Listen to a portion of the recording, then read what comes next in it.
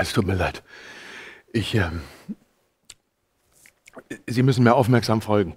Ich werde äh, werd hier gleich mit der ein oder anderen Vorstellung brechen müssen, die allgemein geradezu angenommen ist. Vor langer Zeit schon schwebte mir etwas vor und ich ahnte etwas von einer Zeitmaschine.